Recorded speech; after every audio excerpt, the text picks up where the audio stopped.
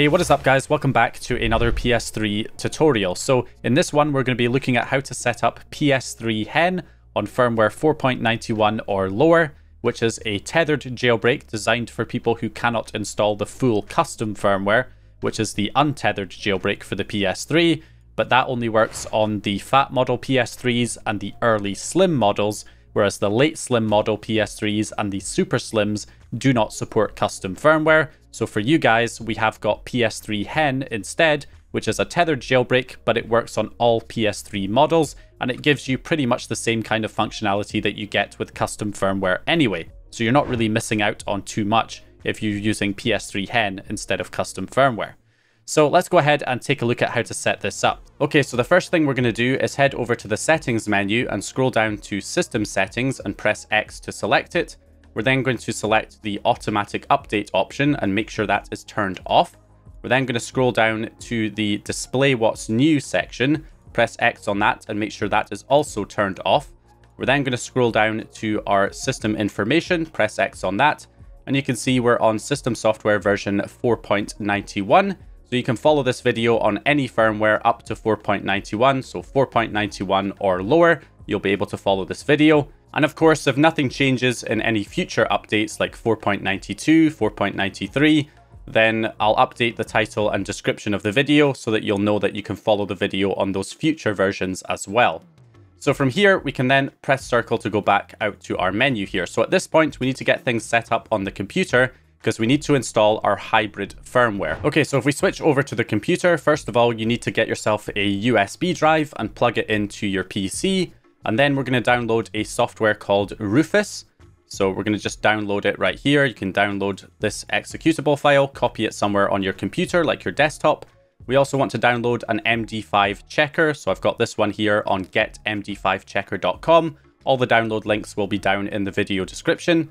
So click the button here to download it to your computer. From there, we're also going to need to download the hybrid firmware from PSX Place from this post, which will also be linked down in the description. So you can see that the hybrid firmware here from Joonie has been linked below. So you can download it here or you can download it right here. So click the link, download the hybrid firmware. And then we also want to copy the MD5 hash that's linked below, which is the correct hash for this file. So we're going to also right click and copy that hash file. And then if I go back to my desktop, I've got my hybrid firmware, my MD5 checker, and my Rufus application. So you want to plug in your USB drive to your computer, and we're going to run Rufus. And we're going to list USB hard drives if your USB device is not automatically detected. And you want to select your USB drive from the list up here. We also want to change the boot selection to non-bootable. The partition scheme needs to be set to MBR. And our file system here needs to be set to FAT32. It can be large FAT32 or regular FAT32. It must be FAT32 though. So select that option and then click start. Remember that this will erase the drive, so back up any data that was on your USB drive before doing this. And then we can click OK to reformat the drive in FAT32 format. So once that's done, we can close out of Rufus. And then if we take a look here, we've got our USB drive on our file explorer. And if I right click and go to properties, you can see the file system is set to FAT32, which means the PS3 will be able to detect it. So we're going to go into our USB drive. We can delete these files that it puts in here. And we need to make a number of folders in this USB drive. So in the root of the USB drive, we're going to create a new folder called PS3 in uppercase characters. And then inside that folder, we're going to create another folder called update which is also going to be in uppercase characters. And then inside that folder, we're going to copy our hybrid firmware update file inside. So that is what we want. And then we need to rename this file by right clicking and clicking on rename. And you want to rename it so it's just called ps3 updat.pup, not update, updat. So ps3 updat.pup. Now you should also go to view and go to show and make sure that file name extensions is ticked. And that way you can actually see the .pup extension. So you can see that you've named the file correctly. So this is the structure that you need to have. You've got your USB drive, you've got your PS3 folder inside, then the update folder inside that, and then you've got the update file inside the update folder. And everything needs to be named exactly as you see here with the PS3 folder, the update folder, and the update file in order for the PS3 to detect the update file. So the last thing we need to do is verify the MD5 hash. You want to do this once it's actually copied to the USB drive. So we're going to run our MD5 checker that we downloaded. So we'll run md5checker.exe and we're just going to drag the update file from our USB drive into MD5 checker. If you're not able to drag and drop the file, you can just click the add button up here and then browse for it manually. And then what we want to do is double click on the MD5 hash and paste in the MD5 hash that we copied from PSX place. And if it says it's the same, as you can see here, it says it's the same, that means that the file has not been corrupted and it should be just fine to install on the PS3. So once you've verified all of that information, we can now eject the drive and plug it in to our PS3. Now you want to plug it into the rightmost USB port on the front of the PS3 if possible, which is the kind of top USB port if you have it vertical. So I'm going to plug in my USB drive to that USB port. Obviously, if that USB port is damaged or broken on your PS3, you can use another uh, USB port, but it's recommended to use the rightmost USB port if it's available. So back on the PS3, we're going to go back into our settings and we're going to select the system update option and we're going to select update via storage media and then wait for that. And you can see it shows up there, 4.91 hybrid and exploitable. We're going to say yes to install it and let that install the system update. Now, if you run into any errors during this process, any kind of errors that stop you from installing the update file, then bear with me because I will show you another way to install the update, which is a little bit more reliable. Now, typically you will not notice any difference after this firmware update has been installed. It should still just be exactly as it was before. Okay, so for me, as you can see there, the update installed without any problems. If you did run into any problems installing the system update, you should try installing it using safe mode instead, which tends to be more reliable. So in order to boot the system into safe mode, you need to first of all turn off the PS3 and then hold down the power button to turn it back on and keep the power button held down until you hear it beep twice in rapid succession like this. And if you don't hear that, it will just turn itself off. So just repeat the process until you hear that double beep. And then that means it's booting into safe mode. So once you get into safe mode here, you'll have to plug in your PS3 controller with the charge cable into the PS3 and then press the PS button. And then we can scroll down to option number six for system update and press X on that. And then we have to press start and select at the same time. And it will check for the update file on the USB drive. Okay, and now it is preparing to update. Okay, so here we go in safe mode. We can press the PS button here to install the hybrid and exploitable firmware. Okay, and then we get the usual disclaimer we have to accept. Press X to start, and now it's installing the system update through safe mode. Takes a bit longer to do it this way, but this is a more reliable way of installing the system update. So if you were running into any errors installing the system update on the normal XMB, on the normal PS3 home menu, then this may solve the problem by installing it in safe mode instead. Okay, so now that I'm back after updating from safe mode, those are the two ways that you can use to update to the hybrid firmware. Now it is also recommended to install the hybrid firmware twice so that it's in both of your firmware slots on your PS3. So just use whatever method you used to install the update the first time and use that same method to install the hybrid firmware a second time and let that run through again a second time. Now I've already installed the hybrid firmware twice, once uh, using the normal system update option here in the menu and a second time in safe mode. So mine is installed twice. So once you've installed it twice, we're going to head over to our internet browser and press X to select that in our network settings. And then from there, we're going to press the start button on our controller and we're going to search for the website ps3xploit.me. You can see I've already got it here in my suggestions. So ps3xploit.me, press start to head to that website. And that will take us over here. We're going to click OK. And then we're going to head up to PS3 Hen and we're going to select Hen Auto Installer. So press X on that.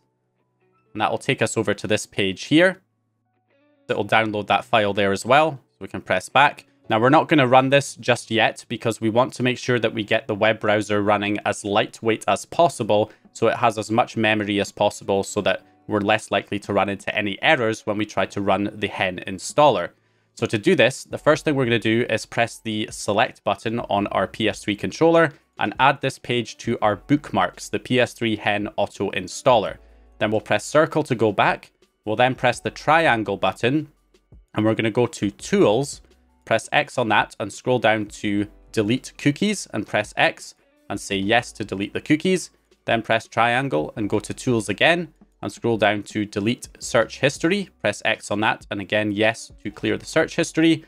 Then again triangle tools, go down to delete the cache. Select that option and say yes to delete the cache. And then finally we're going to go to tools again with triangle and then go down to delete the authentication information and say yes to delete that as well. Then we're going to press triangle again and we're going to go down to tools. We're going to go to home page and we're going to select use a blank page with X and then click OK.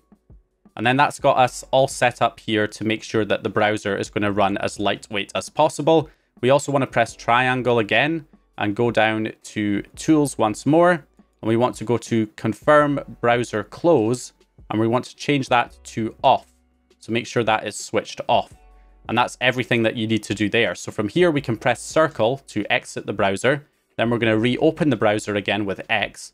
And this will just take us to our blank page. And then we're going to press the select button again and select the option for our bookmarked page. Press X on that. And that will take us back to the auto installer. We can say overwrite and save, I guess, or you can just say don't save if it's already downloaded the file previously. And then we should be good. So from here, all we need to do is run the auto install hen. So we're going to press X to auto install hen.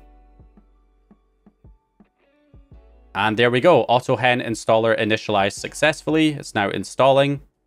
Now, if you did not get the hen initialization successful message, if you got any errors while trying to do this, then all you should do is just turn your PS3 off, turn it back on again, go back on the web browser and try and load it again, and repeat the process until it eventually works. It won't necessarily work the first time for everybody.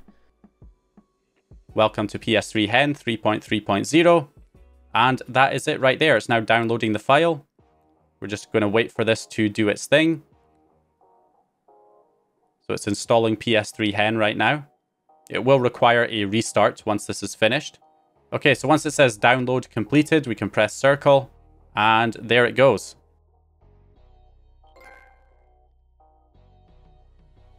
Installation complete, prepare for reboot. So I guess it's going to try and reboot us automatically here. Now, if it does fail to reboot automatically, just restart the PS3 yourself. And what we should see here when it reboots is that PS3 Hen should be enabled. There we go. We've got our PS3 Hen logo when we boot up the PS3. Now, this is a tethered exploit, remember, which basically means that it doesn't automatically run hen for you. You have to run it yourself every time you reboot the PS3. And because of the way that we've set things up here, it will automatically take us to the enable hen option every time we reboot the PS3. And all you have to do is press X on enable hen, and this will run the hen enabler, which should only take a couple of seconds here. There we go, hen. A few seconds later, we get welcome to PS3 hen. And now hen is up and running and we have access to our package manager to install our homebrew applications. And we now have our PS3 jailbroken using PS3 Hen. So that is the main downside with PS3 Hen, is that you have to run this enable hen option every time you reboot the PS3, otherwise you're not going to be able to load your homebrew applications. However, it only takes about 5 seconds to load, so it really isn't that big of a deal in my opinion. But uh, that's what makes custom firmware superior, because you don't have to do that. But uh, yeah, as you can see, we now have our PS3 jailbroken, we have access to the package manager, which allows us to install homebrew applications. So let's go ahead and install a homebrew app as a test here. So if we switch back over to our computer, you can download PS3 homebrew apps from brewology.com, so store.brewology.com, link will be in the description. So if we try and install something like Multiman here, one of the most popular, you know, homebrew managers for the PS3, you can see here it says that it supports 4.91 right here, including Hen. So Hen is supported. So we can just download the unofficial version that says it is for PS3 Hen. So some homebrew apps will have a separate version for PS3 Hen. and that's the one that you're going to want to download. In this case, Multiman, we want the version that is designed for Hen, so that's the one that we would download. Other homebrew apps uh, have a version that supports Hen and custom firmware, so you don't need to download a separate version. So for example, if we take a look here, at something like Irisman. So with Irisman, you can see here, we've got just a full edition here for 4.91. But if we go to the release notes, it says it supports custom firmware and hybrid firmware, which means it supports uh, PS3 Hen as well. So depending on the homebrew app, you want to check to see if it has a separate version for Hen. If it does, make sure you're downloading that version and not the version for custom firmware. Other homebrew apps will have a main version that supports PS3 Hen and custom firmware, and you can just download and install that. So anyway, I've gone ahead and downloaded that unofficial Multiman for PS3 Hen, and I'm just going to copy that package file to the root of my USB drive, the same USB drive that I have the hybrid firmware update on. So I can just copy any package files for PS3 to the root of a USB drive, and then you can plug that USB drive back into the PS3 and install it with the package manager. So back on the PS3, I'll select package manager, install package files, and I'll select the standard from your storage device, which is my USB drive. And then we have our multi-man package file right here for PS3 Hen.